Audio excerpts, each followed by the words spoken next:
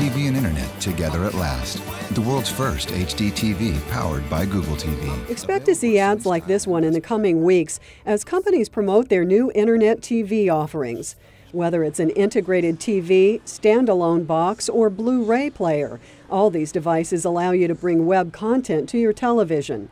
Google TV product lead Rishi Chandra believes it's the future. A lot of users watch great TV today on their television, but they have to watch all this great web video content on a PC or mobile phone. Our belief is that all of this should be coming into one single experience inside the living room, and that's what really Google TV is trying to deliver. Apple TV and others are also trying to deliver internet content to your television. They're all part of the over the top TV market. That is, technology, video, and on demand content delivered over the top of cable and satellite providers to your television via an internet connection. Analyst Tim Bajarin points out the market has been in the making for 10 years, but still hasn't taken off.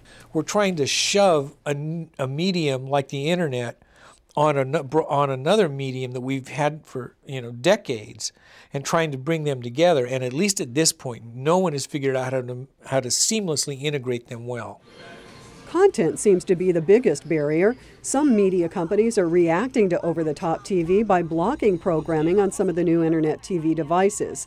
Gartner analyst Mike McGuire thinks there's going to be a lot of thrashing about over content rights and licensing. These decades of agreements between broadcasters, cable companies, affiliates, and the revenue and contracts are enormous, you know, billions of dollars.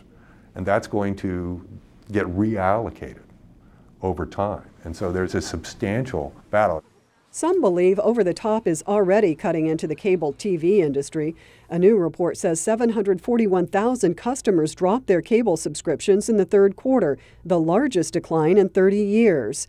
Cable companies cite the weak economy and high unemployment as reasons for the drop off.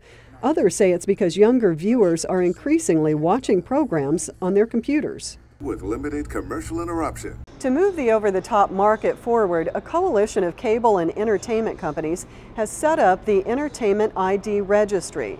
It's working on creating an ID for content, sort of like a UPC code. Analyst Mike McGuire says it'll make it easier for companies to track rights and report revenue across multiple platforms. The EIDR is probably, I think, one of the more significant developments to keep an eye on because that is going to remove some real serious friction points in the way content gets made available to services like Google TV, Apple TV, etc.